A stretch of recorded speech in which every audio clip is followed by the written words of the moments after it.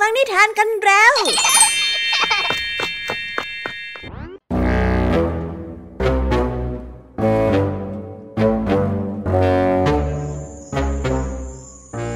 แม้ว่าของบางอย่างนั้นลิงตัวอื่นจะไม่กิน แต่เขาก็มักจะลองกินอยู่เสมอ ตั้งแต่ผลไม้ เปลือกไม้ ดิน ขนนก หรืออะไรก็ตามที่เอาเข้าปากและกลืนลงคอได้ สิ่งนั้นสำหรับลิงแห้วคือของกินทั้งนั้น แต่นิสัยช่างกินของลิงแห้วได้ดูรุนแรงขึ้นเรื่อยๆ เพราะจากที่เขาเคยมีมื้ออาหารวันละสามมื้อต่อวัน ก็ขยายเป็นห้ามื้อต่อวันสิบมื้อต่อวัน และสุดท้ายก็ได้กลายเป็นกินทั้งวัน บ่อยครั้งลิงแห้วก็ไม่ได้รู้สึกว่าตนเองนั้นหิว เขาก็อยากที่จะกิน เพียงเพราะว่าเขานั้นรู้สึกอยากที่จะกิน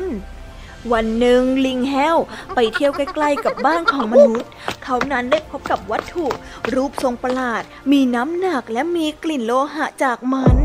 แต่ด้วยความที่สิ่งนั้นมีสีเหลืองเหมือนกับกล้วย ลิงเฮลจึงไม่สามารถห้ามใจตัวเองได้ เขาได้กลืนสิ่งนั้นลงท้องไป โดยที่ไม่รู้ได้ซ้ำว่านั่นคืออะไร และสามารถกินได้หรือไม่ เย็นวันนั้นลิงเฮลได้เกิดอาการปวดท้องอย่างหนัก เขาได้ร้องไห้ฟูงฟายด้วยความทรมาน จนหมอลิงประจำฝูงได้รีบออกมาดูอาการ เมื่อลองจับจับลูบลูบไปที่ท้องของเจ้าลิงเฮลหมอลิงก็ได้พบว่ามีวัตถุแข็งๆบางอย่างอยู่ในท้องของลิงแห้ว หมอลิงบอกว่าเขาจำเป็นที่จะต้องผ่าท้อง เอาวัสดุชิ้นนี้ออกมา เพื่อให้แน่ใจว่านั่นคืออะไร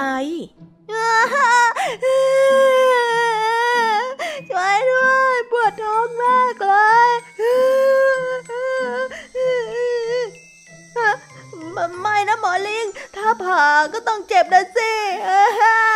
ไม่ผ่าลิงแห้วได้โวยวาย นี่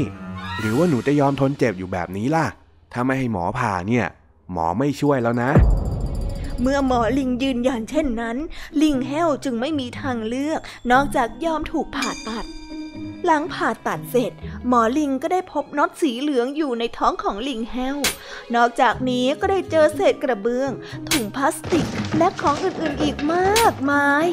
ซึ่งสิ่งเหล่านี้น่าจะเป็นสาเหตุที่ทำให้ลิงแห้วนั้นปวดท้อง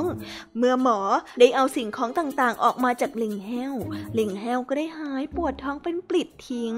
แต่ก็ต้องแลกมาด้วยรอยแผลเป็นที่ท้องของลิงแห้ว ที่ไม่มีวันจางหายไป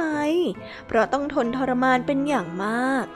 ลิงแฮวจึงได้สัญญากับตัวเองว่า เขาจะไม่กินอะไรด้วยความอยากอีกแล้ว เขาจะตรวจสอบให้แน่ใจว่า อะไรกินได้หรือว่าอะไรกินไม่ได้ และจะกินอาหารตามความเหมาะสมที่ร่างกายต้องการเท่านั้น ตั้งแต่นั้นเป็นต้นมา ลิงแฮวก็มีนิสัยที่กินอะไรที่ดีขึ้น ไม่กินทั้งวันทั้งคืนเหมือนแต่ก่อน นั่นทำให้เขาพบว่า เขานั้นมีความสุขกับการใช้ชีวิตมากยิ่งขึ้น Música